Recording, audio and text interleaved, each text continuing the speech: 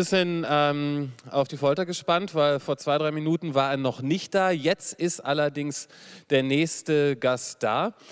Im Jahre 1973 fing er an, äh, ja, eine Drogeriemarktkette groß zu machen, und zwar den DM-Markt. Das wurde relativ schnell von Deutschland nach Österreich und dann noch in sehr, sehr viele osteuropäische Länder exportiert. Unglaublich erfolgreich. Das macht er immer noch. Allerdings ist er auch in den vergangenen Jahren unter die Autoren gegangen und hat ein Buch geschrieben, das ja, in allen Talkshows dieser Republik besprochen wurde, rauf und runter, mit dem Titel Einkommen für alle. Äh, meine Damen und Herren, und darüber wird er reden. Herzlichen Applaus bitte für Professor Götz Werner.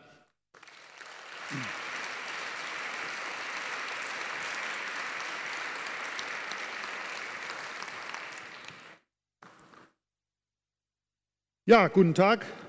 Sehr verehrte Kundinnen, liebe Kunden, ne? weil jetzt sind Sie meine Kunden. Ne? Sie sind hier, weil Sie sagen, naja, irgendwas Vernünftiges wird der Werner ja schon sagen. Warten wir mal ab. Ne? So verhält sich der Kunde. Ne? Der Kunde sagt, der wird ja was hervorbringen, was mich interessiert. Und ich bin zu Ihnen gekommen, weil ich mir gesagt habe, naja, also so wenig können ja gar nicht da sein. Ne? Und so Minderbegabte können ja gar nicht da sein, dass die von der Idee, die ich Ihnen vortragen möchte, dass da nicht wenigstens einige sind, die sagen, oh, das ist eine Sache, die mich interessiert. Also ich rechne mit, ihr, mit Ihrer Empfänglichkeit und Sie rechnen mit meiner Produktivität. So ist es in unserer Gesellschaft. Unsere Gesellschaft hat immer die Grundlage auf Produktivität und Empfänglichkeit. Und natürlich ist so ein so ein Bloggerpublikum, kann ich sie so nennen, ja, Bloggerpublikum. Ist natürlich ideale Zielgruppe für sowas, ne? weil das sind, das sind aufgeschlossene Menschen. Ne? Das sind Menschen, die das Neue suchen, die sich neuer Wege, neuer Medien bedürfen. Und außerdem sind es Menschen, Menschen, die tätig werden. Die tätig werden, die nicht erst anfangen zu warten und fragen, wie wird mir das bezahlt, sondern die loslegen, weil sie in der Sache einen Sinn sehen. Das ist das Interessante an ihnen. Deswegen bin ich hier, man kriegt man hier ein bisschen wie beim Autorennen. Ne? Man geht immer von. bin ich hierher gekommen, um mit Ihnen über dieses Thema zu sprechen. Es ist ja die, die, die Frage, eigentlich jeder Mensch in sich haben müsste, diese Frage, in welcher Gesellschaft wollen wir leben? Ist es die Gesellschaft? Ist die so? Ist die so konfiguriert? Sind die Rahmenbedingungen in dieser Gesellschaft so gestaltet? Irgendwie kommen diese Mikrofone durcheinander, kann es sein? Also ist die Gesellschaft so, sind die Rahmenbedingungen so gestaltet, dass die Menschen in dieser Gesellschaft tätig werden können? Tätig werden können. Das ist ja sag mal, der Unterschied von einem Menschen zu einem Tier. Ne? Der Mensch ist ein Tätigkeitswesen, ein Ausdruckswesen. Wir, suchen, wir, versuchen das zwar untereinander immer wieder zu verhindern, indem wir unsere Mitmenschen permanent beeindrucken wollen, aber eigentlich ist der Mensch ein Ausdruckswesen. Und er ist eben ein Wesen, der sich entwickeln möchte, der Biografie schreiben möchte, der Spuren hinterlassen möchte in seinem Leben, der Ausdruck geben möchte seiner, seines individuellen Existenzbedürfnisses. Und ähm, ist unsere Gesellschaft so, dass sie in uns Menschen das eher das Nonkonformistische oder eher das Konformistische anspricht? Und da habe ich natürlich hier mit einem Auditorium zu tun, wo lauter potenzielle Nonkonformisten. Also wenn wir jetzt noch die Zeit vor der Wende hätten, ne, dann werden sie sozusagen, wird das Auditorium durchsetzt von, von Stasi-Mitarbeitern, ne, dafür sorgen wollen, dass hier sich ja nichts entwickelt, was nonkonformistisch ist. Aber das Neue in die Welt zu bringen, das ist ja das eigentlich Spannende. Und die Idee des bedingungslosen Grundeinkommens ist so was Neues. Das ist ein Paradigmenwechsel. Ein Paradigmenwechsel, wie Sie ihn sich grundlegend da gar nicht vorstellen können. Ne?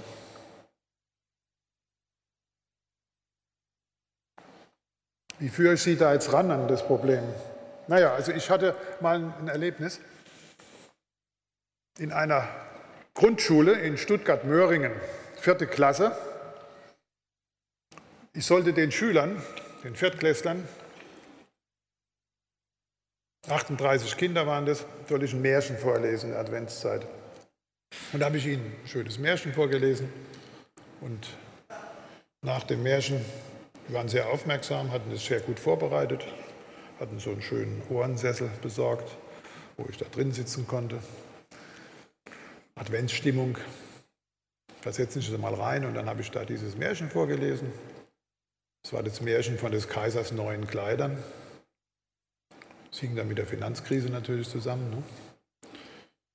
Und dann äh, nach dem Märchen, deswegen erzähle ich es Ihnen aber, sagte dann die Klassenlehrerin, äh, Herr Werner, die Kinder würden Ihnen gerne noch ein paar Fragen stellen. Ich, ja, gerne, ich habe noch Zeit. Und ähm, beim Vorlesen ist mir aufgefallen, dass so ziemlich nah vor mir saß so ein Zehnjähriger.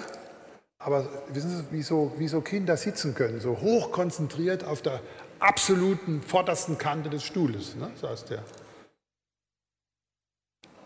Das fiel mir schon beim Vorlesen auf.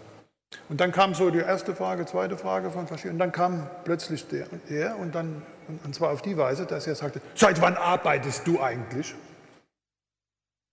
War ich natürlich ein bisschen perplex. Ne? Kleinen Schluck Wasser getrunken. Und dann, dann habe ich gesagt, ja, was ist denn Arbeit überhaupt?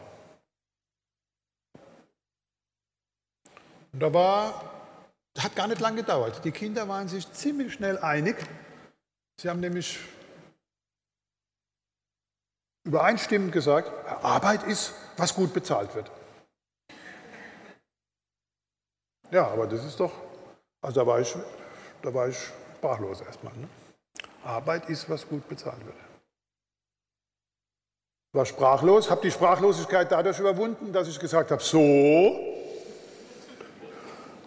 so, vielleicht sogar ein drittes Mal, so genau weiß ich nicht mehr.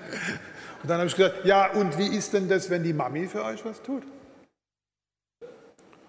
Und wie ist denn das, wenn die wenn der Papa für euch was tut? Und wie ist denn das, wenn die Oma am Wochenende euch hütet und euch hilft bei den Aufgaben? Ist das keine Arbeit? Ah, haben sie gemeint, doch, das ist auch Arbeit. Also was ist mir da so ganz deutlich geworden? Na, vielleicht muss ich so rum sagen, wo haben die Kinder denn das her? Also ganz sicher haben die Kinder das nicht mit auf die Welt gebracht. Also mit der Idee sind diese Zehnjährigen nicht auf die Welt gekommen, dass sie gesagt haben, Arbeit ist, was gut bezahlt wird. Das müssen sie, das müssen sie aus einer von uns in der Sozialisation erfahren haben. Und jetzt muss er sagen, ja, ist es denn, ist es denn so? Sind Sie auch der, der Arbeit, sind wir denn wirklich der Meinung, dass gute Arbeit Arbeit ist, die gut bezahlt wird? Das ist doch, das kann doch nur ein, ein Missverständnis sein. Aber das Missverständnis ist offensichtlich so durchschlagend, dass das noch dazu im Schwabenland, ne, also in Stuttgart, bei 40 Zehnjährigen zu so einer Erkenntnis führt. Aber das ist unser gesellschaftliches Problem. Wir messen den Wert der Arbeit an der Art der Bezahlung. Und nicht an, den, an dem Sinn, den diese Arbeit macht. Und es kommt daher, dass wir Arbeit und Einkommen miteinander verkoppeln, bewusstseinsmäßig. Ja, man könnte sagen, in unseren Herzen, in unserer Seele tun wir es miteinander verkoppeln, wenn wir es wenigstens bewusstseinsmäßig täten dann würden wir schneller dahinter kommen, dass es gar nicht sein kann. Dann würden wir nämlich dahinter kommen, und lassen mich das vielleicht als Einstieg nehmen, dass wenn Sie arbeiten wollen, wenn Sie tätig werden wollen, dann brauchen Sie ein Einkommen. Also das Einkommen ist nicht die Folge der Arbeit, sondern es ist die Voraussetzung für die Arbeit. Weil ich ein Einkommen, über ein Einkommen verfüge, egal aus welchen Quellen, bin ich überhaupt in der Lage, tätig zu werden. Weil das Einkommen, das brauche ich, um leben zu können. Um meine, meine physische Existenz zu regenerieren, brauche ich das Einkommen. Die Arbeit brauche ich, um mich in die Gesellschaft zu, in der Gesellschaft auszudrücken. Das ist ein ganz anderes Thema. Die Zusammenarbeit mit anderen Menschen brauche ich, weil ich mich entwickeln möchte. Das Einkommen brauche ich, weil ich leben muss. Ich halte das für den, für den wesentlichsten Denkertum, den wir in unserer Gesellschaft haben. Diese Verkoppelung von Arbeit und Einkommen. Die ja dann so, so weit führt, dass wir meinen, wir müssten die Menschen in die Arbeit zwingen, damit wir ihnen ein Einkommen zugänglich machen können. Deswegen könnte man ja sagen, ja gut, der ganze, der ganze Hartz-IV-Zirkus ne, ist ja wirklich nicht zum Lachen. Das ist offener Strafvollzug. Ne?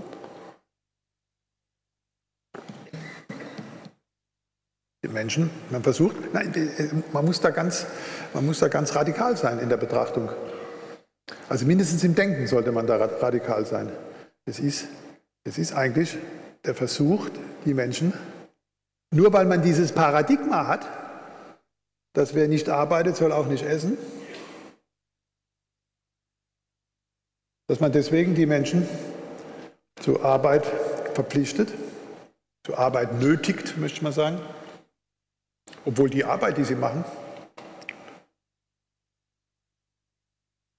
für sie persönlich, aber auch für uns gar keinen Sinn macht.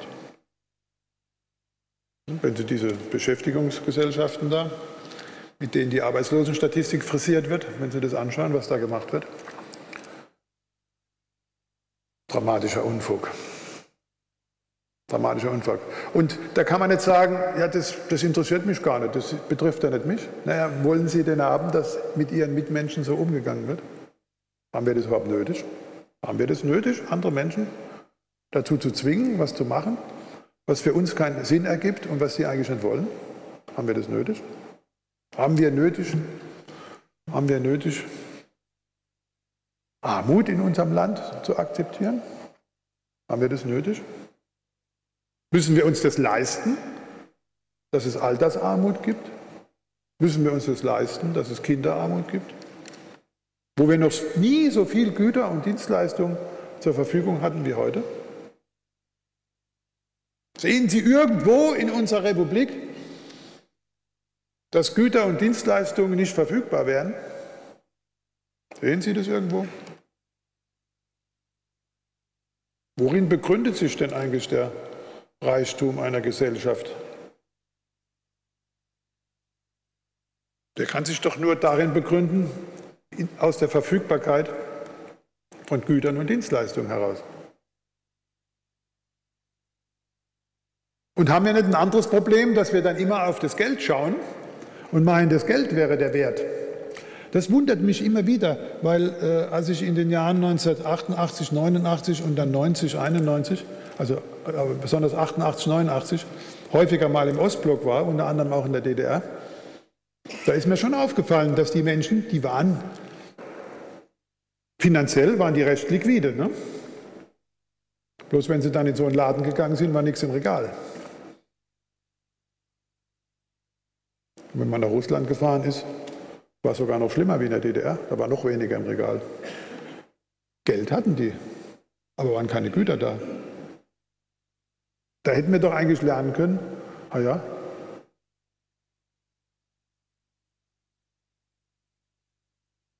Der Engpass sind die Güter, nicht das Geld. Weil Geld folgt ja immer der Gütermenge. Also wenn wir viel Güter hervorbringen, dann ist auch viel Geld im Umlauf. Wenn wir viel vertrauen auf die Produktivität der Gesellschaft, dann ist auch viel Geld im Umlauf. Aber das Geld hat in dem Moment keinen Wert, wenn es keine Güter dafür gibt. Also hat doch Geld in Wirklichkeit gar keinen Wert, sondern es ist nur die Vermutung, dass ich dafür Güter bekomme. So, und jetzt, wenn wir so viel Überfluss haben an Gütern, dann muss man sich fragen, ja, warum leisten wir uns dann Kinderarmut?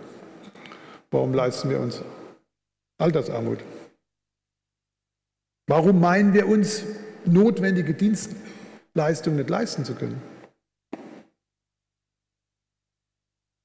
Warum meinen wir, wir könnten die, die Straßenschäden nicht finanzieren, wenn gleichzeitig die Straßenbaufirmen zu wenig Aufträge haben?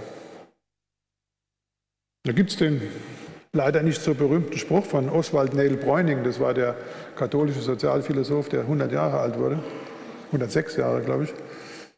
Der sagte, alles, was produziert werden kann, ist auch finanzierbar. Und dann kam aber noch ein wesentlicher Nachsatz, der, der heißt, vorausgesetzt, wir haben den ehrlichen Willen dazu. Vorausgesetzt, wir haben den ehrlichen Willen dazu. Anderes, anderes Schlaglicht. Wir hätten, wir hätten das ja schon lernen können bei der Kohlekrise. Die Kohlekrise, damals war ich 14 Jahre alt, 1958, kam ja so ganz plötzlich in das Wirtschaftswunder der Bundesrepublik. Plötzlich ist die Kohle nicht mehr verkauft worden. Also zwar wirklich plötzlich. Wenn Sie das mal äh, historisch verfolgen, ganz interessant. Das kam ganz überraschend für das gesellschaftliche Bewusstsein. Und dann kann ich mich noch erinnern, als, als 14-Jähriger, wie damals die, die Kumpels im Ruhrgebiet mit den Bergmannskapellen vorne demonstriert haben für ihre Arbeitsplätze. Und da weiß ich noch genau, wie mein Vater damals sagte, äh, du Götz, das, die demonstrieren nicht für ihre Arbeitsplätze, weil 3000, in 3000 Meter Tiefe bei 38 Grad Celsius unter lebensfeindlichen Bedingungen zu arbeiten, das ist kein besonderes Vergnügen. Demonstrieren tun die für ihre Einkommen.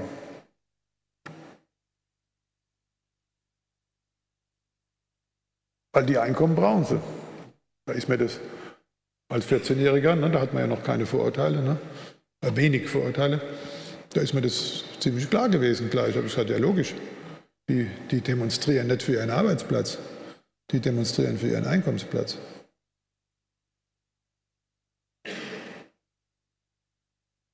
Ist das nicht ein riesengesellschaftlicher Irrtum? Und das können Sie verfolgen, die Werftenkrise, die Stahlkrise, die Automobilkrise. Ne? Opel ist ja das neueste Beispiel. Wir, wir wiederholen immer wieder den gleichen Fehler. Ne? Also wir sagen ja, die, unbedingt müssen die Arbeitsplätze erhalten bleiben. Ja, nicht, weil wir die Autos so dringend benötigen, ne, haben wir nämlich eine über, unglaubliche Überkapazität, sondern weil die Menschen ihr Einkommen benötigen. Wir können das nicht umdenken. Durch diese Verkoppelung von Arbeit mit Einkommen. Das ist ein, ein ganz fatales Paradigma, was uns da sozusagen am, am Schlawittel ne, hält. Das ist das Problem. Wenn Sie, wenn Sie da sich ähm, öffnen können in ihrer, in ihrer Art und Weise, wie Sie die Gesellschaft beobachten, dann werden Sie sagen, ja, das ist eigentlich ein Nonsens. Ne? Und jetzt stellen Sie sich vor, weil, das, weil wir das so denken, dann und denken den Arbeitsplatz als Einkommensplatz. Was hat es eigentlich für eine Folge, für eine individuelle Folge für den Einzelnen? wenn er keinen Arbeitsplatz hat, sondern nur einen, Ein einen Einkommensplatz. Also er macht die Arbeit nicht, weil er einen Sinn in der Arbeit sieht, sondern weil er dringendes Einkommen braucht. Und das nicht nur eine Woche lang, sondern fünf Jahre lang, zehn Jahre lang, 20 Jahre lang, 30 Jahre lang. Macht immer was, wo er in der Arbeit gar keinen Sinn sieht, aber das Einkommen braucht er dringend. Was das für eine Folge hat? Wenn mal vor, sind sie so als, als Individuum auf die Welt gekommen, haben sich was vorgenommen. Wenn sie zehn sind, dann wissen sie, dass nur gut bezahlte Arbeit Arbeit ist. Ne? Und dann tun sie ihr ganzes Leben lang etwas machen, worin sie keinen Sinn sehen. Ist das nicht eine Katastrophe? Und hat es nicht was zu tun mit unserer Volksgesundheit? Mit unserer seelischen Gesundheit? Also ich empfehle Ihnen einfach mal so in Ihrem, in Ihrem sozialen, in Ihrem Soziotop, wo Sie sich befinden, mal so zu gucken, wie ist es eigentlich bei den Menschen, die ich da kenne. Haben die einen Arbeitsplatz oder haben die nur einen Einkommensplatz? Und das ganze Bemühen von einem Verantwortlichen in einem Unternehmen muss eigentlich sein, immer sich zu fragen, wer hat denn hier bei uns einen Arbeitsplatz und wer hat nur einen Einkommensplatz?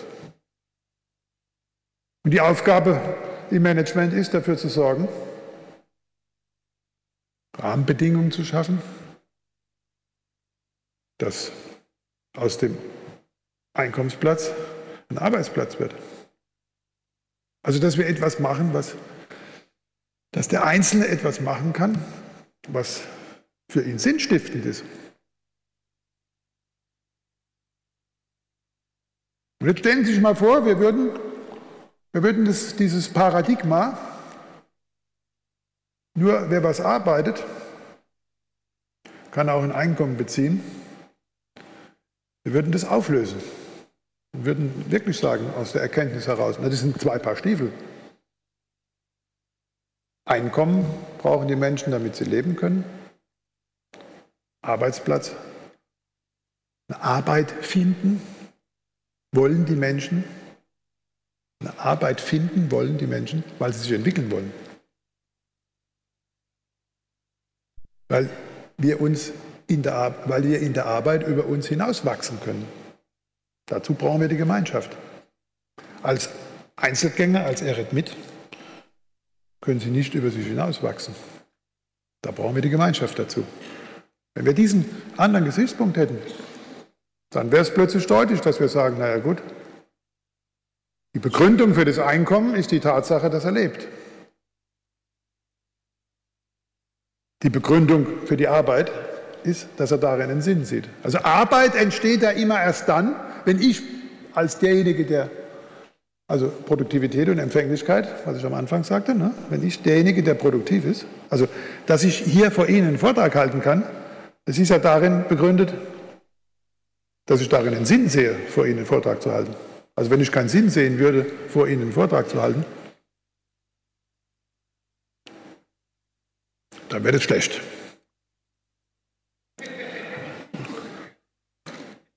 Und weil ich darin einen Sinn sehe, deswegen halte ich hier den Vortrag von 11 bis 12.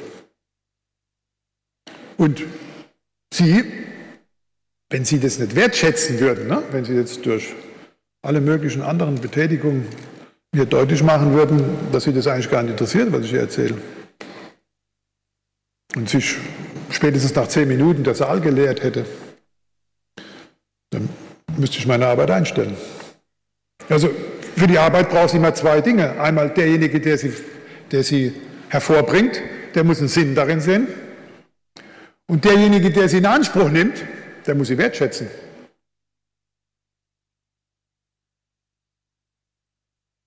Und da haben wir wieder ein gesellschaftliches Problem. Dass ja doch viele, also Sie hier sicher ausgenommen, ne, aber dass es ja viele Menschen gibt, die meinen, sie arbeiten für sich. Es gibt ja auch viele Menschen, die meinen, sie leben von ihrem Einkommen. Das ist ein Irrtum. Haben Sie das schon mal beobachten können, dass jemand von seinem Einkommen lebt? Also ich habe das noch nie erlebt bei mir in den 66 Jahren, wo ich auf der Welt bin. Ich lebe immer von der Leistung anderer. Ich lebe immer von der Leistung anderer. Rechne immer damit, dass andere für mich tätig werden Verlasse mich darauf, vertraue darauf, dass andere für mich tätig werden. Ich muss damit rechnen, dass andere sich darauf verlassen, dass ich für sie tätig werde. Also wir sind heute in einer gesellschaftlichen Realität, wo wir immer für andere tätig werden. Also man könnte sagen, Wirtschaft ist das Füreinanderleisten. Es ist immer ein Füreinanderleisten. Wenn Sie keinen Kunden finden, ist Ihre Arbeit obsolet. Und wenn Sie selbst keinen Sinn in Ihrer Arbeit finden, dann sollten Sie lieber aufhören. Weil er wird ja auf Dauer immer schlechter. Und die Kunden laufen Ihnen weg. Das ist der Zusammenhang.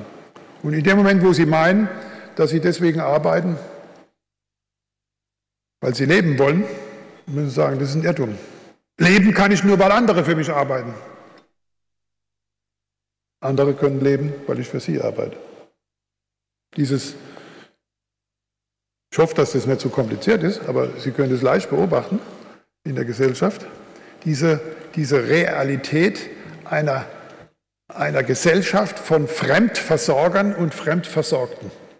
Das sind wir. Wenn wir das uns mal wirklich nicht nur, also nicht nur als, als eine Denkmöglichkeit erfassen, sondern wirklich auch emotional sozusagen mit unseren Herzen, unseren Seelen auch so erleben könnten, dann hätten wir eine andere Situation in der Gesellschaft. Wir würden dann zum Beispiel viel mehr Wertschätzung in unserer Gesellschaft erleben. Und heute muss man eigentlich sagen, unsere Gesellschaft leidet darunter, dass äh, wir vieles geringschätzen, was um uns herum geleistet wird.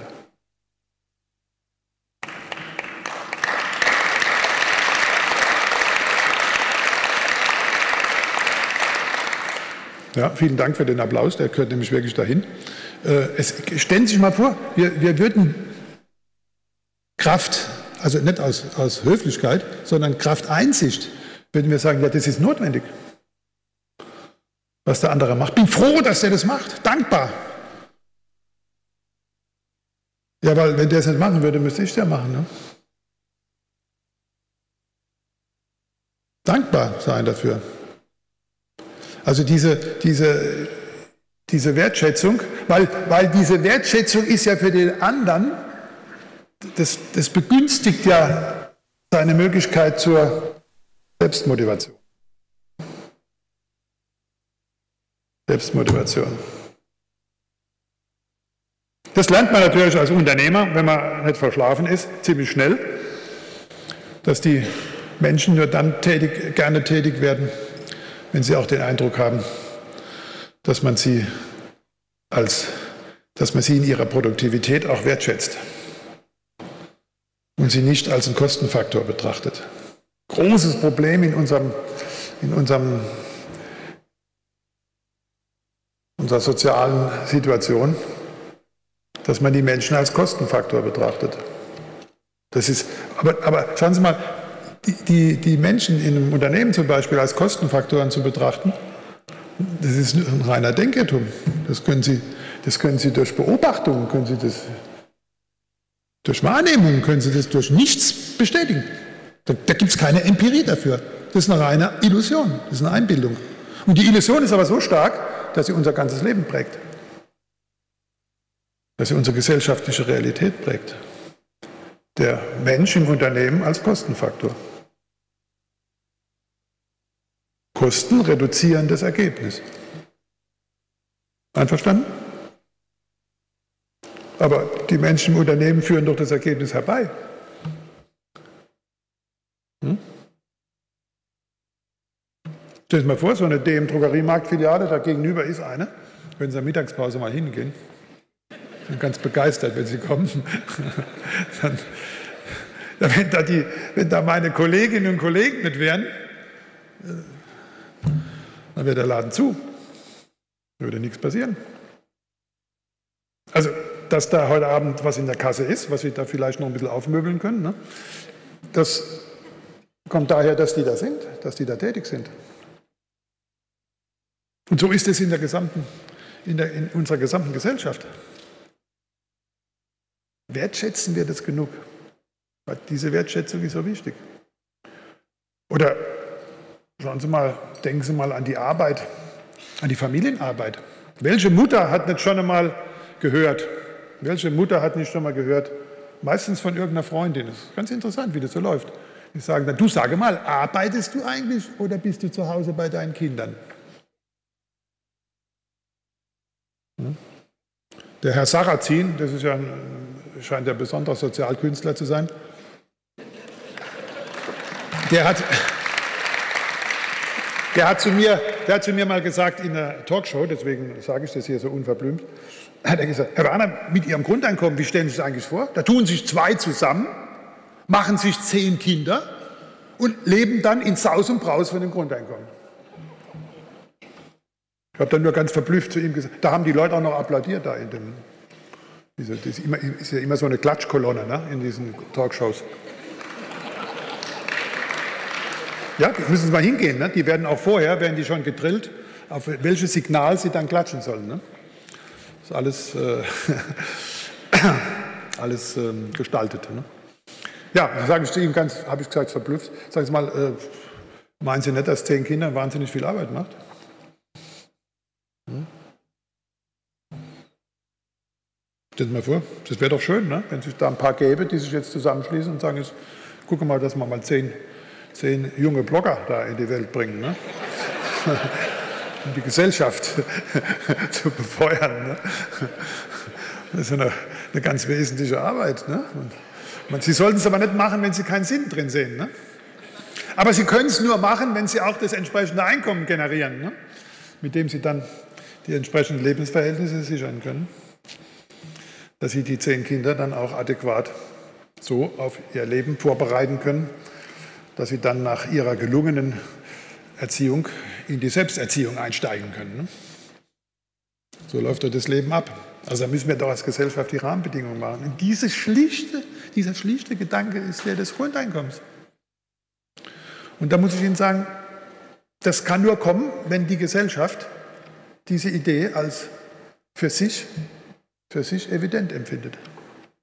Und meine ganze Hoffnung ist, heute da so ein paar von Ihnen zu finden, ne, vielleicht Sie, ne, vielleicht Sie, die dann sagen, ich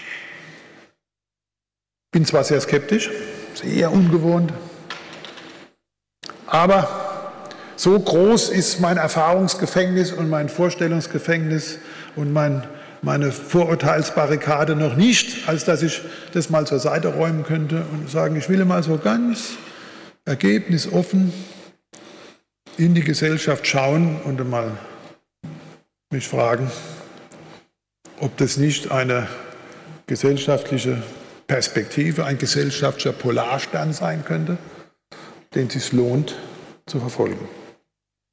Wenn das hier gelingen könnte, dann, dann hat die Sache nicht nur Sinn, sondern auch Erfolg gehabt. Ne? Und der, die Folge dieses Erfolges wäre, dass sie plötzlich anfangen, so in die Gesellschaft zu schauen. Und dass sie dann anfangen zu träumen, zu träumen. Ne? Unternehmer, ne? also Unternehmer sind ja, und Sie sind ja alles Unternehmer, ne? oder? Ist jemand dabei, der kein Unternehmer ist? Ne? Alle Sie sind mindestens Lebensunternehmer. Das werden Sie hoffentlich nicht abstreiten wollen. Sie sind mindestens Lebensunternehmer. Also, die Folge dieses Erfolges wäre, dass sie dann sozusagen mit diesem lebensunternehmerischen Blick in die Gesellschaft schauen und dann sich sagen, ja, tatsächlich, das macht Sinn. Und dann anfangen zu träumen und sagen, wie wäre das eigentlich gewesen, wenn ich mit so einem Grundeinkommen auf die Welt gekommen wäre. Hm? So eine Art Begrüßungsgeld für die Eltern. Ne? Also, nicht auf die Welt. Ne? Hätten dann meine Eltern nicht ganz ganz andere Art von Sorgen gehabt. Oder wenn ich dann, wenn ich dann ähm, mit der Volljährigkeit über das Grundeinkommen hätte selbst verfügen können, hätte ich dann den gleichen Beruf ergriffen, den ich ergriffen habe? Hätte es dann diese Auseinandersetzung geben müssen mit den Eltern, die es gegeben hat? Ich denen klar gemacht habe, was ich eigentlich wollte? Wäre das nicht ganz anders? Und wäre heute mein Verhältnis nicht auch ganz anders zu meiner Lebenspartnerin oder zu meinem Lebenspartner, wenn jeder sein Grundeinkommen hat? Zu meinen Schwiegereltern, wenn wir unser Grundeinkommen hätten und Und meine Lebensperspektive im Alter, wenn ich weiß, Grundeinkommen, verfassungsrechtlich garantiert, von der Wiege bis zur Bahre, in einer Größenordnung, dass ich davon immer bescheiden, aber menschenwürdig leben kann. Nicht in Saus und Braus, nein, nein, da muss man schon was dazu tun. Ne? Aber ein Grundeinkommen in der, in der Weise, dass die Gesellschaft eigentlich sagt, ja, weil du, weil du ein, eine Schwester und weil du ein Bruder bist in unserer Gesellschaft, deswegen hast du ein verfassungsrechtliches Recht auf dieses Grundeinkommen. So nach dem Motto, ja, und dann zeig mal, was du kannst. Ja, dann steig mal ein in die Gesellschaft. Dann mach mal das, wo du siehst, wo du glaubst, dass es notwendig ist, wo du einen Sinn drin siehst. Nicht, weil du musst, nicht, weil du musst, sondern weil du willst. Tun Sie mal sich reinträumen in eine Gesellschaft, wo Sie mit lauter Menschen zu tun haben, potenziell, potenziell, Ausnahmen bestätigen immer die Regel, aber potenziell mit Menschen zu tun haben, die alles, was sie machen, machen, weil sie wollen. Und idealerweise nichts tun, was sie nicht wollen. Und nur deswegen, weil sie müssen. Das wäre eine ganz andere Gesellschaft. Diese Wandel vom Wollen zum, vom Sollen zum Wollen. Der Jean-Jacques Rousseau, der, der hat es noch besser ausgedrückt. Der hat gesagt, Freiheit, und da merken Sie, dass es sehr was mit Freiheit zu tun hat. Freiheit ist nicht die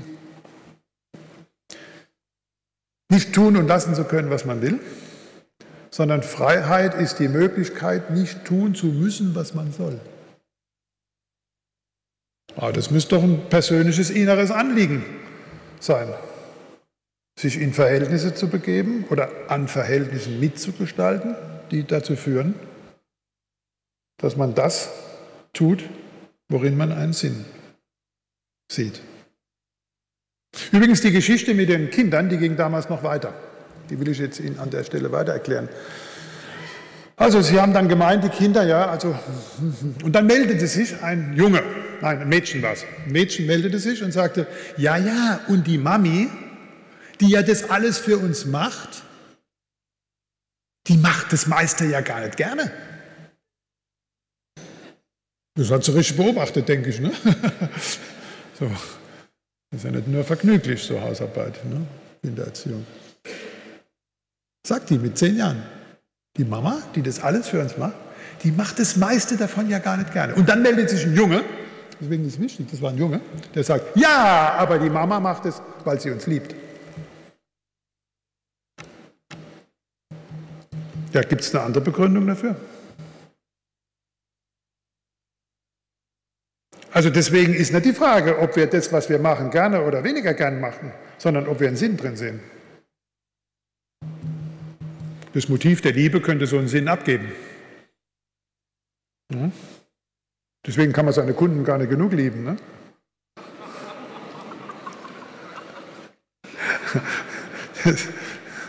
ja, das ist doch ein Unterschied. Schauen Sie, als Fremdversorger sind Sie immer für Kunden tätig. Als Selbstversorger sind sie immer für sich selbst tätig. Und dieser, dieser Denkirrtum zu meinen, wir wären für uns selbst tätig, der führt natürlich dazu, dass sie den Kunden aus dem Auge verlieren. Weil in der gesellschaftlichen Realität in den vergangenen Tausenden von Jahren, bis kurz, bis kurz vor die letzten Jahrzehnte, der war ja, dass man zusammen mit, und in den Entwicklungsländern können Sie es ja noch beobachten, dort wo Selbstversorgung noch vorherrscht, dass die Menschen zusammen mit ihrer Familie auf Grund und Boden gegen die Unbillen der Natur für sich selbst tätig sind. Eine völlig andere soziale Situation wie wir heute. Wir sind heute zusammen mit anderen Menschen, die wir zum Teil gar nicht kennen, in komplexen, erdumspannenden Wertschöpfungsketten sind wir tätig, immer für andere, die wir vielleicht auch gar nicht kennen. wenn Sie dabei Mercedes in Stuttgart arbeiten und dann nach Argentinien fahren und sagen, ah, guck mal, da werden die, die, die, die, die werden bei uns hergestellt. Ne? Da, da, wo ich tätig bin, da, da bauen wir diese Dinger. Hm? Sind Sie froh, dass es fährt? Ne? Ganz glücklich, dass der Fahrer dann sagt, ah, beste Auto, was ich je gefahren bin. Ne? In Argentinien. Rückwärts hat er sozusagen ihr Einkommen generiert. Vorwärts haben sie die Leistung, zum Kunden hin haben sie die Leistung generiert und rückwärts zu ihnen generiert sich das Einkommen. In einem weltumspannenden Wertschöpfungsprozess. Völlig andere gesellschaftliche Realität, wie noch vor 100, 150, 200 Jahren. Dass man das mal so im, im Prozess sich klar macht. Und dann, dann wird es einem innerlich immer evidenter, dass man sagt, naja, das, das würde unsere Gesellschaft verändern. Die, das, die Idee des Grundeinkommens setzt eine Revolution im Kopf voraus. Und wenn wir Einzelnen, wir Einzelne Souveräne unserer Gesellschaft, nämlich der Souverän in der Gesellschaft sind wir, nicht die Experten, nicht die Politiker, auch nicht die Blogger, ne? also, sondern jedes einzelne Individuum ist souverän in der Gesellschaft. Wenn wir das nicht, wenn wir nicht anfangen können, umzudenken, also diese Revolution, ne? wie heißt es schön, der Kopf ist rund, damit die Gedanken ihre Richtung ändern können. Ne? Also wenn wir diese, wenn wir diese Revolution in unserem Kopf nicht vollziehen, dann wird schon nichts verändern. Brauchen sich gar nicht beklagen. Ne? Dann geht es gerade so weiter wie bisher. Und wenn es so weitergeht wie bisher, geht es abwärts. Immer, wenn es so weitergeht wie bisher, geht es abwärts. Das, liegt, das ist eine Schöpfungsgesetzmäßigkeit. Das war, war immer so. Ne? Deswegen gibt es ja diese berühmte Wette vom Faust und Mephisto. Ne? Das ist ja das Signal. Ne? Werde ich zum Augenblicke sagen, verbleibe doch, du bist doch schön.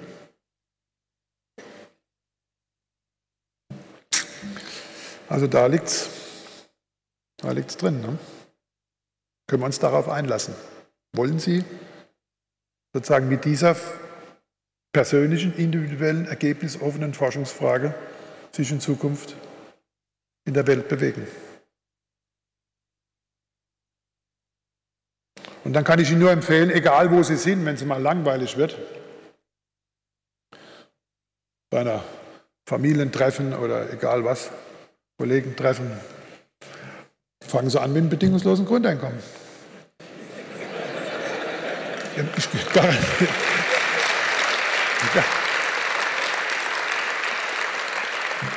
ich garantiere Ihnen, der Abend ist gelaufen. Und das ist das eine. Das Ergebnis ist ganz sicher. Das zweite Ergebnis ist schon ein bisschen, da, da muss ich Sie vorwarnen. Das zweite Ergebnis ist, dass ähm, sind ja meistens Menschen, mit denen man sich vertraut fühlt, ne, mit denen man da so Familientreffen oder wir haben jetzt gerade demnächst wieder Konfirmation. Mit denen fühlt man sich ja vertraut irgendwie und plötzlich merkt man, an dem Reden über Grundeinkommen, ja Donnerwetter, der hat ja ein Menschenbild, da bin ich ganz platt. Da bin ich ganz platt. Da gibt es doch tatsächlich Menschen, die behaupten, ja, dann tut keiner mehr was arbeiten. Und wenn ich dann, wenn Sie, und dann machen Sie es bitte so, wie ich es mache immer. Wenn da jemand behauptet, ja, Grundeinkommen, da wird ja keiner mehr was arbeiten. Ne? Merken Sie, wie der im Kopf hat? Arbeit, Einkommen. Ne? Wie das so ein Wirkungsmechanismus ist. Dann müssen Sie gleich sagen, ja, was würdest du machen?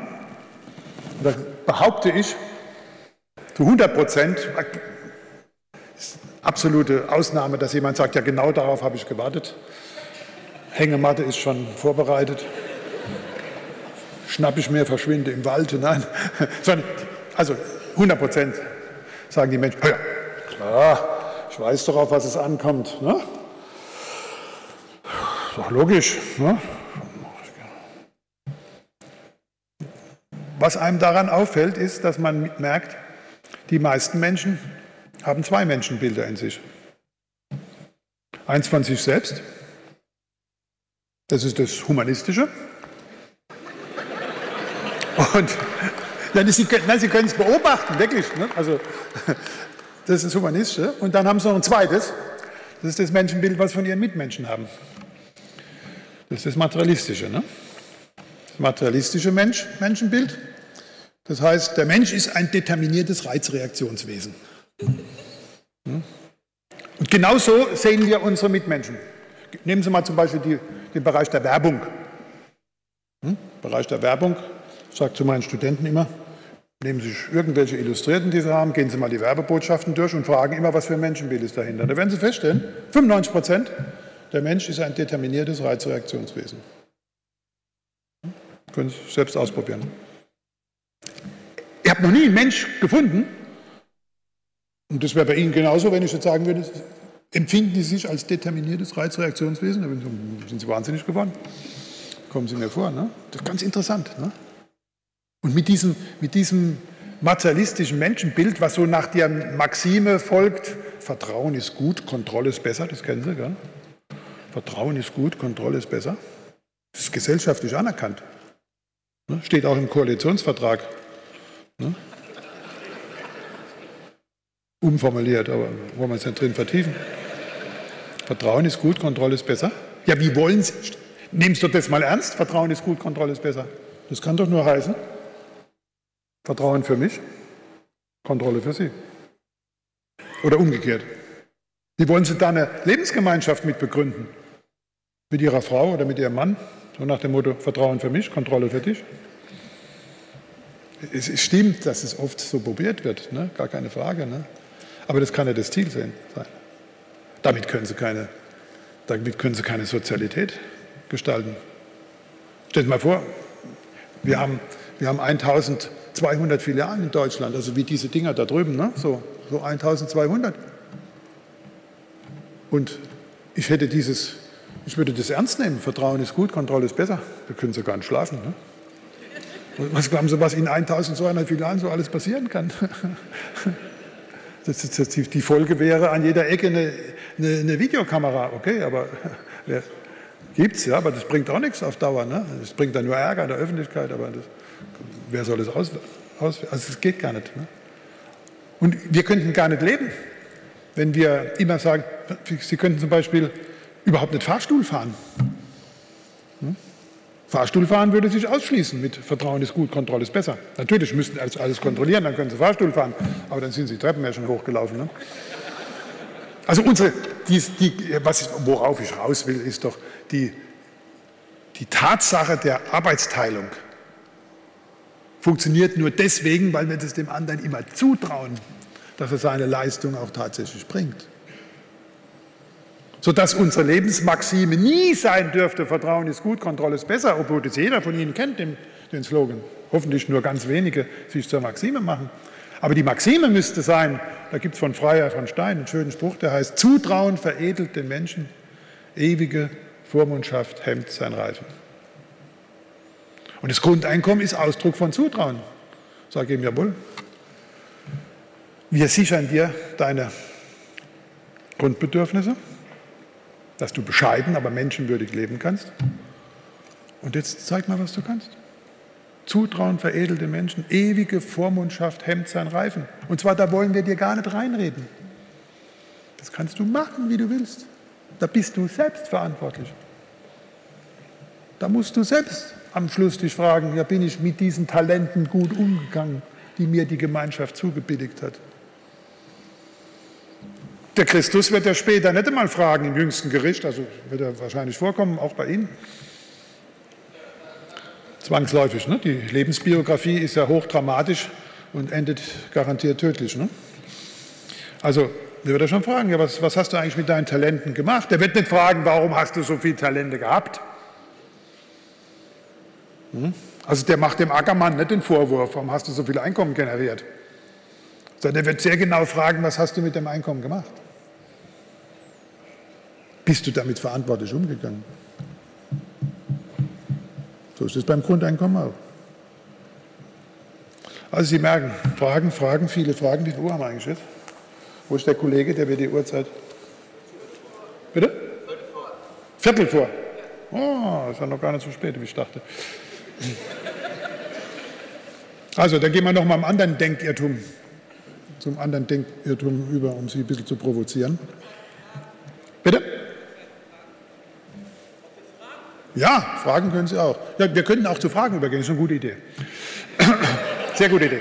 Dann höre ich an der Stelle auf und ähm,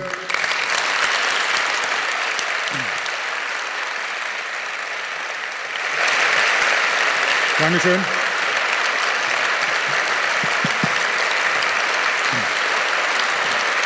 Dankeschön. Vielleicht, vielleicht, brauchen wir noch einen, vielleicht brauchen wir noch einen griffigen Schlusssatz. Und äh, den, den können Sie natürlich für Ihr ganzes Leben einsetzen. Das lohnt sich wirklich. Einfach dieses, und das tut auch die Arbeit sehr erleichtern. Diesen Schlusssatz, den ich Ihnen jetzt sage. Ne? Also, das tut die Arbeit sehr erleichtern. Kommen ja ständig Menschen auf einen zu und haben irgendwelche Anliegen. Ne? Oder man hat selbst Anliegen, die man mit jemandem bespricht. Wird um Probleme gesprochen. Und da habe ich mir dieses, diese, diesen ähm, ja, was ist das eigentlich? Eine methodische Vorgangsweise angewöhnt. Die, wenn Sie das jetzt in einem Spruch ausdrücken, dann heißt es, wer will, wer will, findet Wege. Wer nicht will, findet Gründe. Und wirklich, Sie, Sie erleichtern sich, wenn Sie immer gleich fragen, sagen Sie mal, wollen Sie eigentlich? Wollen Sie? Wollen Sie, dass wir was verändern? Oder wollen Sie mir nur klar machen, dass alles beim Alten bleiben muss? Dass Sie dafür Gründe finden, das traue ich Ihnen zu. Das ist eine Frage der Fantasie. Aber entscheidend ist, was wir miteinander wollen. Also wer will, findet Wege, wer nicht will, findet Gründe. Und das ist natürlich bei der Überlegung mit dem Grundeinkommen das Gleiche. Hier haben wir ein Mikrofon und es wäre einfach schön, wenn Sie sich in Richtung des Mikrofons bewegen und dann Ihre Frage stellen. Bitte schön. Genau. Ja, vielen Dank. Ich glaube, ich kann Ihrem Grund, Ihrem, Ihrem Paradigmenwechsel sehr gut folgen, also diese Abkopplung von Arbeit und Einkommen. Und ich glaube, das geht vielen im, im, hier auf der Republika ähnlich, denn dieser Open-Source-Gedanke, dass man eben nicht unbedingt für, für Geld arbeitet, sondern für andere äh, Gratifikationen, ist ja gerade in der Wikipedia-Blogger-Szene sehr vertreten. Also ich glaube, da bringen Sie hier schon ein bisschen Eulen nach Athen. Also da sind wir vermutlich, viele von uns, ganz Ihrer Meinung. Ich habe Ihr Buch auch gelesen. Was mich allerdings noch nicht überzeugt. Besser, ja. Kann ich Ihnen auch empfehlen übrigens. Ja. Ne? Was mich, ich finde den Gedanken auch absolut sympathisch. Wie gesagt, diesen Paradigma ist völlig, völlig d'accord mit Ihnen. Aber was mir persönlich nicht so behagt, ist dann doch wieder dieser Ruf nach Vaterstaat, Staatsbürokratie, Steuern und dann wird das umverteilt, weil die geschichtliche Erfahrung zeigt hat, der Staat, eine Bürokratie, ein, ein hierarchisches Monopol hat als soziale Umverteilungsmaschine eigentlich immer nur sehr schlecht funktioniert. Da gibt es immer wieder Machtmissbrauch. Also gibt es nicht eine Methode ohne Staatsbürokratie, ohne das, wie wir es bisher hatten, also den von oben diktierten Sozialstaat, der auch immer wieder zu Missbrauch einlädt, gibt es nicht ein intelligenteres Verfahren, um äh, Arbeit und Einkommen voneinander abzukoppeln? Vielleicht gibt es einen, der auf die Idee kommt. Ne? Aber ich denke, ähm, wir müssen uns ja in der Gesellschaft klar machen, was hat denn die Gemeinschaft für eine Aufgabe. Und die Gemeinschaft hat die Aufgabe, dass das Gemeinschaftliche auch hergestellt wird. Und gerade wenn man im Ausland tätig ist, dann weiß man ja, wie, dank man, wie dankbar man sein kann, wenn so ein Staatswesen, so ein Gemeinwesen einigermaßen funktioniert. Ne? Also dieses, die Infrastruktur, mit dem Begriff mal so sagen, die ist notwendig. Aber äh, nehmen Sie doch ein viel einfaches Beispiel. Sie alle sind ja Verkehrsteilnehmer. Jetzt stellen Sie sich mal vor, der Verkehr, der Straßenverkehr, der Individualverkehr, der ja uns eine große Freiheit verschafft. Das ist ja wirklich freiheitsstiftend, der Individualverkehr. Ohne dass der Staat die Regeln setzt, die Verkehrsregeln setzt, sie auch überwacht, die für die Straßen sorgt, sie auch ausbessert hoffentlich demnächst. Ne? Das ist doch nicht freiheitseinschränkend, sondern das ist freiheitsfördernd. Dem Moment, wo das weg wäre, wäre in, innerhalb von eines Tages, innerhalb von zwei Stunden würde das gesamte Individualverkehr zusammenbrechen. Wenn der Staat würde sagen, jetzt tun wir mal alle Ampeln abstellen, alle Verkehrsschilder einziehen. Ne? Das ist notwendig. Oder stellen Sie sich mal vor, die Bundesliga. Ne? Die Bundesliga, wenn man sagt, naja, die, auf die Kreativspieler kommt es drauf an. Schiedsrichter, das brauchen wir alles nicht und Regeln auch nicht. Ne? Würde spätestens dann zusammenbrechen. Ja, ähm, ja also ich habe eine Frage. Also erstmal würde ich jetzt gerne mal zu meinem Vorredner sagen, also der hier so in den Raum gestellt hat, dass dass der Sozialstaat ja immer zum Missbrauch einlädt. Also da gibt es ja, das ist ja jetzt auch ein bisschen Polemik. Ähm, da gibt's, das ist ja ganz klar mit Zahlen auch bekannt, dass das nur ein sehr geringer Anteil ist. Ne? Also so eine Hetze gegen Hartz-IV-Empfänger, finde ich, brauchen wir jetzt hier auf der Republika nicht. Sie können, Sie können, auch, ähm, die, Sinn, Sie können auch die Sinnhaftigkeit des Individualverkehrs ja. nicht am Unfallgeschehen nee, deutlich ich habe gar nicht über den Nein, nein, nein, ich stimme Ihnen zu. Ich will so. bloß das auf die, verknüpfen mit meinem Beispiel. Ne? Ja, bitte, ja. Ähm, also ich finde ähm, auch Ihre, also ich finde es alles ganz interessant, aber ähm, ich würde jetzt schon auch meinen Zweifel ziehen, dass die Mehrheit der hier anwesenden Leute ihre Arbeit nicht gern macht. Also da könnten wir mal, hätten wir ja vielleicht auch mal eine Umfrage machen können, dass die Leute sich melden. Also ich fand, ich fand das alles ganz ich fand das alles ganz interessant, was Sie gesagt haben, aber ich fand, dass Sie eigentlich ein bisschen wenig belegt haben von dem, was Sie so in den Raum gestellt haben und einfach postuliert haben, ja, ähm, es ist, wir leben in einer Gesellschaft, in der man, äh, in der man irgendwie in der Arbeit was ganz Schlimmes ist und in der Arbeit für die meisten Leute keinen Sinn stiftet. Und ähm, ich finde das nicht so gut, wenn Sie das erstens nicht belegen und wenn Sie zweitens auch nicht sagen, äh, wie das eigentlich äh, finanziert werden soll mit dem Grundeinkommen. Ich, natürlich ähm, ist es immer richtig, auch äh, große Visionen zu haben. Aber ähm, ich finde es auch problematisch, äh, eben so eine Politik voranzutreiben, die eher nicht so auf Wahrheit setzt und eher so charismatisch im Raum herumschwebt. Also ich, ich sehe da jetzt nicht so äh, einfach das, den großen Sinn drin. Ich finde es schon gut, wenn man, wenn man sagt, naja, man braucht Verbesserungen bei Hartz IV und so, und dass die Leute so, aber ich finde einfach, wenn sie überhaupt nichts belegen, wenn sie einfach nur so Dinge in den Raum stellen und einfach so sagen, ja, so ist es eben, dann weiß ich auch nicht. Es könnte ja auch einfach sein, dass sie äh, keinen Bock haben auf Lohnnebenkosten. Wieso denn? Warum kann ich denn nicht was sagen? Also dann Frage, dann bitte Frage, wie wollen Sie es, wie wollen Sie es finanzieren oder geht es Ihnen nur darum, Ihre Lohnnebenkosten zu senken? Also, das letzte war eine Unterstellung. Da tue ich mal nicht darauf antworten, aber die Frage, die Sie hatten, war doch mit dem Belegen. Warum belegen Sie das nicht? Ja, Entschuldigung, ich gebe Ihnen eine Anregung und Sie müssen sich fragen, was Sie damit machen. Also mein, meine, äh, meine Vorgangsweise, meine Methode ist doch nicht Ihnen Antworten zu vermitteln, sondern meine Methode ist, bei Ihnen Fragen zu erwecken. Und das wird sich bei Ihnen, das können Sie selbst beobachten, können Sie selbst fragen, ja, ist es wirklich so, wie das der Herr Werner gesagt hat? Dann können Sie vielleicht am Schluss sagen, das war ganz witzig, aber in Wirklichkeit ist es ganz anders. Oder Sie können sagen, ah, das wird mir jetzt deutlich. Also das, mal, der, das Entscheidende ist doch nicht, mit wie vielen Antworten gehen Sie raus, sondern mit wie vielen Fragen gehen Sie raus.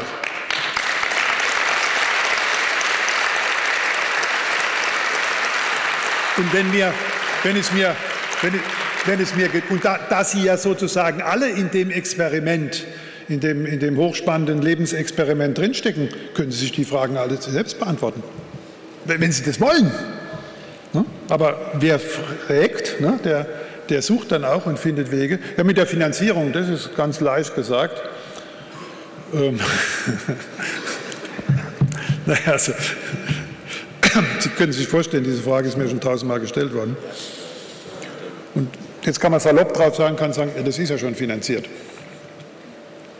Die Tatsache, dass Sie hier sitzen, ist ein Beweis dafür, dass Sie ein Einkommen haben. No? Jeder, der hier sitzt, hat ein Einkommen. Jeder, der, Sie können in der Gesellschaft gar nicht anders leben, als wenn Sie ein Einkommen haben. Und die Menschen, die kein Einkommen haben, denen tun wir eins verschaffen. Über, über sehr äh, komplizierte, teure äh, Verfahren, die auch noch dazu die Menschen in persönliche Nöten bringen. Das nennt man dann unsere Sozialhilfe. Ne? Das ist die Sozialhilfe, also Hartz IV ist ja nichts anderes wie ein bedingtes Grundeinkommen. Das Neue an der Idee ist, dass es bedingungslos gegeben wird, bis in eine bestimmte Höhe. Hm? Also würde sich ja gar nichts anderes, gar, gar nicht viel mehr verändern, wie die Tatsache, dass man sagt, alles bleibt, wie es ist, das ganze Sozialhilfe, Gesetzbuch in seinen, in seinen Sinn, mehr oder weniger sinnvollen Dingen, die sich da gestaltet haben. Und die Gesellschaft sagt, aber die 1000 Euro, die ersten 1000 Euro oder 1000 Euro, das ist dein Grundeinkommen, das ist damit abgedeckt. Wenn du da noch mehr Forderungen hast nach dem Sozialhilfegesetz, dann musst du es unter Beweis stellen. Also wenn du eine Krankheit hast, die dazu führt, dass du im Monat nicht 1000 Euro brauchst, sondern 5000, ne, so Krankheiten soll es ja geben, dann musst du es schon beweisen, dass du auch wirklich so krank bist. Ne? Das ist dann bedingt. Das ist ein ganz, ganz leichter Gedankenschritt. Und alles andere ist schon längst finanziert, sonst könnten sie gar nicht leben. Das muss nicht zusätzlich finanziert werden. Nur die, die jetzt dann weniger hätten wie 1000, die müssten halt etwas mehr bekommen. Das sind in unserer Gesellschaft viel zu viele, aber Gott sei Dank sehr wenige. Da kommen Sie auf eine Größenordnung, gibt es inzwischen eine Dissertation von einem Herrn Presse, können Sie beziehen im Karlsruher Universitätsverlag.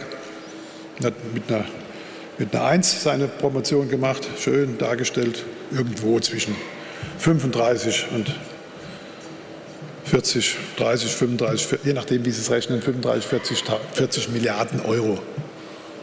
Das ist also bei dem Bedarf, den die Berliner Landesbank hatte, relativ wenig. Und, und außerdem, zu der Dame, die gefragt hat, sind die Güter ja schon vorhanden. Hm? Also so viel Güterüberschuss, dass wir 35 Millionen zusätzliche Konsumnachfrage bewältigen können. Das sehen Sie mit dem bloßen Auge, allein wenn Sie in unseren Laden gehen. Ne? Also glauben Sie, glauben Sie wirklich, wir haben so viel, dass wir verkaufen müssen. Und Sie brauchen keine Angst zu haben, wenn Sie jetzt darüber gehen, dass der Laden leer wäre. Nein, nein, das ist, das, das, wenn Sie dann in die Kasse gehen und das gescannt wird, dann wird die Nachbestellung schon, der, der, der Lieferant, der freut sich schon, dass er wieder liefern kann. Ne? Also Sie sind ganz begeistert, die Leute, wenn sie liefern können. Das ist eine neue Situation. Früher hatten wir immer die Knappheit. Aber wir, wir denken, wir, wir, sind noch emotional in der Knappheit, gar nicht mehr vorhanden. Es macht überhaupt keinen Sinn. Ne? Fünf Minuten, gell? Mein Zug fährt, ja. das Flugzeug fliegt leider nicht. Muss ich mit dem Zug fahren. Ja. Jetzt kommen Sie. Ja, vielen Dank. Äh, der Vortrag hat mich auch sehr amüsiert. Also war sehr unterhaltsam, wollte ich damit sagen. Ich habe auch viele Fragen. Eine Frage, die sich auch mit den von Ihnen immer genannten Gütern und Dienstleistungen verbindet, ist, also diesem Überfluss an Gütern und Dienstleistungen ist, basiert das nicht gerade auf diesem System, das wir gegenüber auf der Straße bei DM beobachten können, dass da Leute zu Löhnen arbeiten, vielleicht eine sinnfreie oder auch für die Leute auch nicht sinnfrei, das will ich gar nicht entscheiden. Das ist deren Aufgabe, das zu entscheiden, ob es sinnvoll ist oder nicht ähm, äh, auf einem System basiert, das diese Leute ausbeutet. Das ist ein kapitalistisches System, in dem wir leben. Sie haben vorhin eine Parallele gezogen zu einem sozialistischen System, das so dann nicht funktioniert hat. Die Leute hatten zwar Geld, haben sie gesagt, aber nicht die Güter. Diese Güter haben wir aber, weil dieses System auf die Ausbeutung beruht. Die Frage ist dann, die sich dann für mich damit äh, verbindet, wenn wir ein bedingungsloses Grundeinkommen haben und dieses aus dem Status quo heraus einführen wollen, und es trotzdem ungleiche Verhältnisse in dieser Gesellschaft materieller Art gibt, ob es dann nicht diese Ungleichheit dadurch zementiert oder nicht. Das ist eine Frage, die ich mich gerade stelle. Und ob das dann nicht wiederum auch dazu führt, dass all das Geld, diesen Reichtum, den wir haben, Sie haben nach Kinderarmut gefragt und gefragt, ob wir uns das leisten wollen. Nein, das wollen wir nicht. Ich kann mir auch gut vorstellen, dass wir ganz viel Geld haben, das wir anders einsetzen können. Aber da, und da möchte ich am Vorredner widersprechen, denke ich schon, dass es sinnvoll ist, sinnvoll ist, sich als Gesellschaft Gedanken darüber zu machen, was für die Gesellschaft, und zwar nicht nur für die deutsche, sondern global in irgendeiner Weise sinnvoll ist und dafür Geld auszugeben. Aber ob das in diesem System da noch funktioniert, das weiß ich nicht. Also Erase and Rewind, also zu sagen, alle auf denselben Status zurück, alle mit einem Grundeinkommen, also alle haben ein, ein also alle haben ein Einkommen, ein Dach über dem Kopf, haben genug zu essen. Es gibt alle, nicht nur in Deutschland, haben das. Äh, dann kann man sinnvoll seine Zeit verbringen und ganz viel für diese Gesellschaft tun. Ansonsten ist auch von dem Menschenbild, das jeder in sich mitträgt, Sie haben von zwei verschiedenen Menschenbildern gesprochen. Ich habe eine Frage gestellt, ich möchte es aber trotzdem ein bisschen herleiten. Vielen Dank für eure Geduld. Ähm, die Frage, die Frage ist doch letztendlich dann, ob es aus dem einzelnen Menschenbild heraus jedes einzelne Menschen überhaupt funktionieren kann, ohne das Streben nach mehr, sozusagen nach Gewinn, äh, ein solches System äh, zu gestalten. Ja. Ich glaube das nicht. Ja, genau so wird es sein. Es wird gerade so weitergehen. Ne? Aber, ja, aber wie will man es durchbrechen? Ja, das Moment, ist ja meine Frage. Aber, ja aber der, Einzelne, der Einzelne ist dann zumindest in, der, in, in dem Lebensstandard, den ein Grundeinkommen einem ermöglicht, eben das bescheidene, aber menschenwürdige Leben, ist dann in der Lage, Nein zu sagen. Nein zu was? Nein zu sagen, ja. Zu den Nein zu was? Zu all den Dingen, die er glaubt, machen zu müssen. Zum Beispiel da drüben bei DM zu arbeiten. Wenn er ein Grundeinkommen hat, kann er sagen, will ich das eigentlich noch? Die Freiheit, sich in eine abhängige Beschäftigung zu geben, ja, wäre dann genau, gegeben. Ganz genau. Aber könnte nicht nach mehr streben in dem Moment oder müsste Bitte? was anderes ausprobieren. Ja, oder er, er, er also tut, was Einkommen angeht. Ja, er, er tut was, dass er darüber hinaus von der Gesellschaft was bekommt. Wer arbeitet dann bei DM? Ja, die, die, die, die, die darin einen Sinn sehen. Die, die darin einen Sinn sehen. Gut, ich sehe darin auch einen Sinn und ich möchte diese Dienstleistung in irgendeiner Weise begütern. Also ich möchte sagen, das ist mir etwas ja, wert. Genau, deswegen, das ist mir etwas wert. Ich sehe einen Sinn. Deswegen würden Sie das auch nur machen, wenn Sie dafür ein entsprechendes Einkommen bekommen. Ist doch klar. Ne? Also in einer Fremdversorgungsgesellschaft, wenn Sie haben wollen, dass eine Leistung für Sie generiert wird, haben Sie nur drei Möglichkeiten. Die erste Möglichkeit, Sie schaffen einen attraktiven Arbeitsplatz. Wenn uns das nicht gelingt, ne, dann muss das der Werner wieder selbst machen. Ne? Zweite Möglichkeit, Sie tun das automatisieren. Machen wir ja in großem Umfang. Und die dritte Möglichkeit, buchstäblich, Sie müssen es selbst machen. Also wir müssen einen attraktiven Arbeitsplatz, einen, einen Arbeitsplatz machen, wo andere Menschen einen Sinn drin sehen und der wertgeschätzt wird. Doch immer so. Anders geht es nicht. Und das System, das System, von dem Sie ja nebulös sprechen, ist immer das, wie Sie das System denken. Ne? Das, ich meine, das, die Gesellschaft verändert sich mit dem Grundeinkommen, keine Frage. Herr Werner, ich bin jetzt unglaublich unromantisch. Äh, ich bin's hier, weil ich glaube, Ihr Zug geht. Und ja. wir wollen nicht dafür verantwortlich sein. Das ist natürlich jetzt fast tragisch, dass jetzt gerade so viele. Also, also wenn Sie sagen, Sie wollen noch drei, vier Minuten oder so, nur nicht, dass Sie uns dann anschreiben. Ja, wie, viel, wie viel Uhr haben wir denn genau? Jetzt haben wir es, glaube ich, fünf nach. Wie viel Uhr haben wir genau? 12.04 Uhr. Also jetzt machen wir noch die drei Fragen und dann fahre ich okay. schnell weg.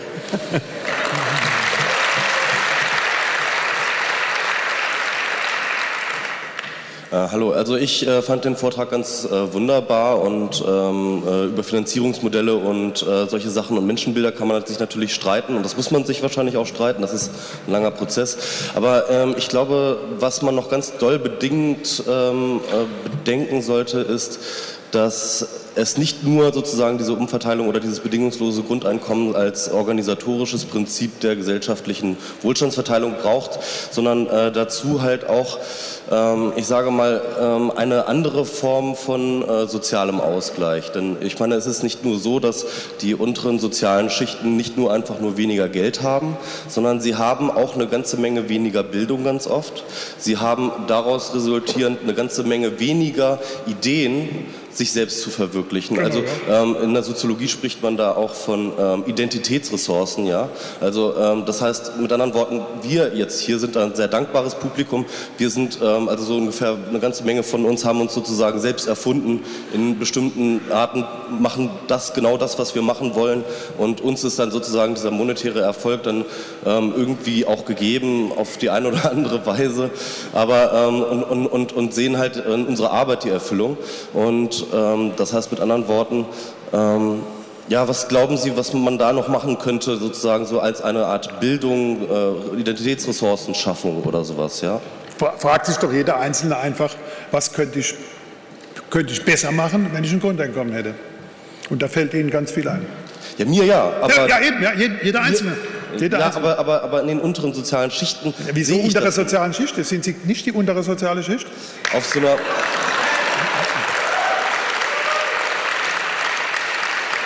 Also, Entschuldigung. Ich, ich, sag mal, ich, sag mal, so einkommensmäßig ja, ja aber, ähm, aber wenn man, aber wenn, ja. bei der Soziologie spricht man vom Prekariat, wenn man dann noch sozusagen ähm, halt noch mal ein paar andere ja. Dinge. Da können Sie als mit Grundeinkommen können Sie dann das Blogger sein lassen und werden Sozialarbeiter.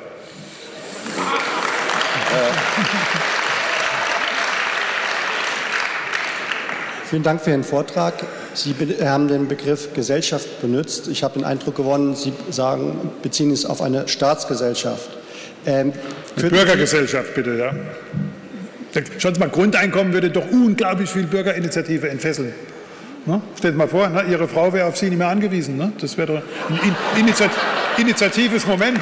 Ähm, Entschuldigung für das Vorurteil, bei mir ist es leider umgekehrt. so spielt das Leben. Okay, die Frage geht darauf hin, also ich habe Bürgergesellschaft, okay, aber die Bürgergesellschaft hat trotzdem einen, den Eindruck gewonnen, dass es eher dann auf einen Staat, den Begriff, wie wir ihn heute sehen. Ähm, können Sie das mal im Kontext einer Weltgesellschaft oder einer ja. Bürgerweltgemeinschaft ähm, skizzieren? Ja. Na, also so wie der bismarckische Sozialstaat ja eine gewaltige gesellschaftliche Innovation war, die Vorbild war für viele, viele andere Staaten auf der Welt, so wäre das Grundeinkommen genauso. Das wäre ein Kulturimpuls. Stände Deutschland an, so einen Kulturimpuls in die Welt zu bringen. Ne? Und ähm, das würde dort dazu führen, dass die. In, in Brasilien gibt es Initiative. Gehen Sie mal ins, ins Internet, da gibt es. Ähm, ähm, kennen, kennen, Sie doch Internet. Ne? Da gibt es diese internationalen Initiativen, ne? also auch in, äh, in Brasilien und in vielen Ländern wird in, in der Schweiz, überall ne? Grundeinkommen. Sie werden sehen, das wird kommen. Das ist einfach die Folge unserer Konsumgesellschaft. Ne? Die Folge der, das ist so wie in der, in der Agrargesellschaft es eigentlich immer um Landverteilung ging, ne? nämlich der freie Mann auf freier Scholle. Der konnte dann wirtschaften, ne? so hat es der Apostel Paulus auch gemeint damals, der muss halt sein Feld bestellen. Ne? So ist beim, in der Konsumgesellschaft der freie Mann, weil er über ein Grundeinkommen verfügt. Okay, ähm, wie sehen Sie dann den Weg? Ein, eher einen Bottom-up-Prozess oder einen Top-down-Prozess? Wenn man sich die UN-Sicherheitsrat Bottom-up, der, der, der, der, Wind der Gesellschaft, der Wind der gesellschaftlichen Veränderung muss immer aus der Gesellschaft wehen. Hm? Deswegen sind Sie ja so wichtig, Politiker sind unwichtig, weil die werden in dem Moment sich verändern, wo der Wind aus der Gesellschaft sich gedreht hat. So, vielen Dank. Professor Götz-Werner, vielen Dank.